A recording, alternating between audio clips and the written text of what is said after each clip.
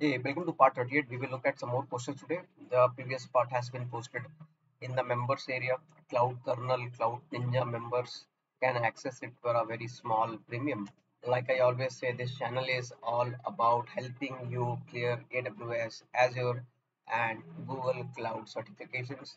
Mickey Mouse starter level certification, intermediate or advanced, all three levels of certifications become a cloud kernel or a cloud ninja member for a very small premium mind you for a very small premium you can become a cloud kernel or cloud ninja member which will give you access to so many variety of important questions. The free questions plus the important questions on the paid area will help you clear the certification and at least attack all the concepts successfully.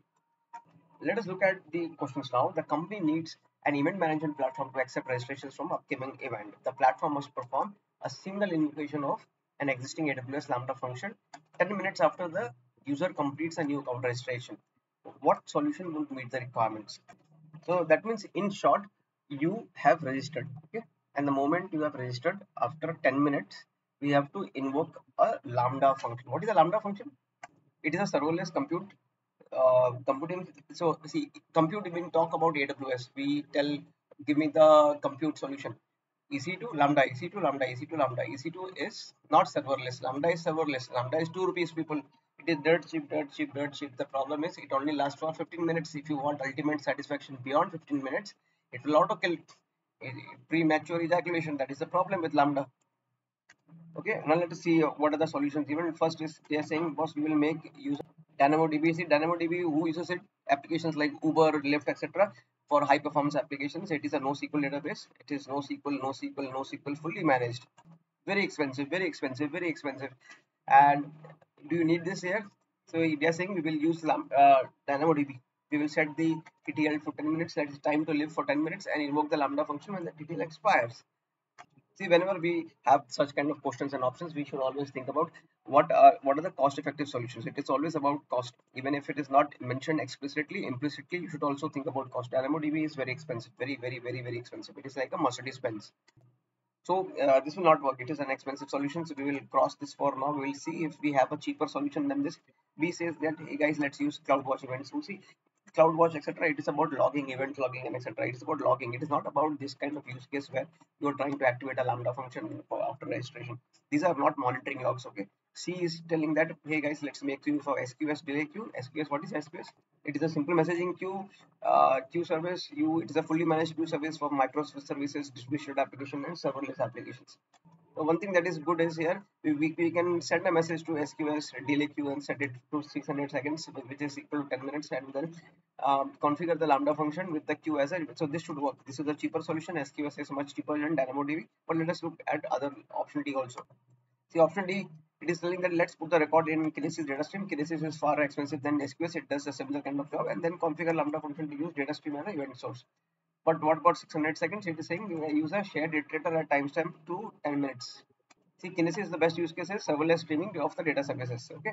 See, this is a uh, shard iterator. What it does is a shard iterator. It expires five minutes when it is returned to the requester.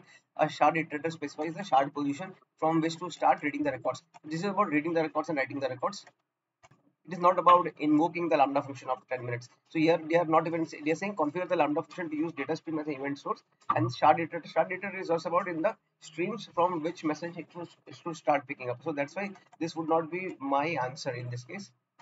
Option c is the right answer where we will use sqs as a delay queue and then set the queue to 600 seconds now you might have what is a delay queue see this is sqs delay queue pause the video read this carefully the delay queue lets you postpone the delivery of new messages and consumers for a number of seconds. In this case, we are telling 600 seconds, which is equal to 10 minutes. Okay. Now, this is the next question. How would a developer notify users when a new item is written to a DynamoDB table without affecting the provisioning throughput? So this suppose this is a DynamoDB database, a table is there, and whenever a new item comes in, it needs to notify the user. Notify means through SMS or emails and etc. So in these options where they have used uh, the notification service, they have used two places, SNS notification here and SNS notification here. So remaining two options we will straight away cancel. Why we will cancel? Because the option B they are not making use of any notification service and option D also they are not making use of any notification service. So, See, Lambda is not a notification service. Option D is saying we will use Lambda notification. There is nothing called Lambda notification service. Okay. Uh, the Lambda functions are different. There is nothing called Lambda notification function there. See, I always say, I always say, boss, listen to me carefully. Whenever in the certification, you have to use ready-made solution that AWS gives you. Don't try to create a custom solution. We don't want intelligent people. We want people who understand AWS services and features. Okay, got it. Now between A and C, between A and C, what do you see? See, the problem that I'm seeing is it is going to poll every one second and this will affect the performance. And here we are saying without affecting the provision throughput. Option C will affect the provision throughput. So that's why option C is also not my answer. My answer is finally option A. So here what is happening in option A? They are setting up a DynamoDB stream to trigger Lambda function that sends SNS notifications to users. See what is SNS meant for? It is a simple notification service. It does, does a pub sub service. It is a pub sub service to send notifications. It can do application to application notification, application to person notification. Both are possible in this case. So this hence this solution is good and this will not even affect the provision throughput from a performance standpoint. This this solution is good because it will wait for the new item to come and when the new item suppose a new item comes uh, only for that item it will trigger the lambda function. Unlike option c where it is saying every one second i will go and check i will go and check i will go and check i will go and check. Because every one second if you uh, go and keep checking you are going to get tired. Your performance will go down and you will use the provision throughput. You, that will get screwed up. So that is why option c is incorrect. Okay now in this case the next question the developer is writing a web application that is deployed on ec2 instances. So ec2 see this is the compute service. It is meant it is not serverless. It is full server full server full server full not serverless. So it, these are about servers. Ec2 is a compute elastic compute service. So these guys are creating web applications putting on ec2 instances behind alb what is alb it is a, a load balancing solution. It is a for application load balancing so if there there is there are multiple EC2 instances and it kind of does a load balancing. Suppose you are a team lead and you have five developers, you have work coming in. Will you give all the work to two developers only and keep three developers idle? No, you will try to equally distribute the work. That is the same thing ALB does. You can pause the previous part and watch that documentation, read it if you want. The developer must add CloudFront distribution in all ALB. See, CloudFront is all about content delivery network. The people like Netflix, Amazon Prime, etc. They make use of such services and the developer must ensure that the customer data from outside VPC is encrypted in transit. So that encryption should also happen. Now you want to choose uh, two. Uh, we choose two options in this case. Now for this question, I'm not going to give you the answer. You will have to like if you think you know the answer and with the justification you can put it in your uh, in the comments and then we will try to see which, which ones are correct. But uh, think about options uh, uh, B, C, and E. which which which two would you pick? So guys this brings us to the end of this part. Please subscribe if you have not already done.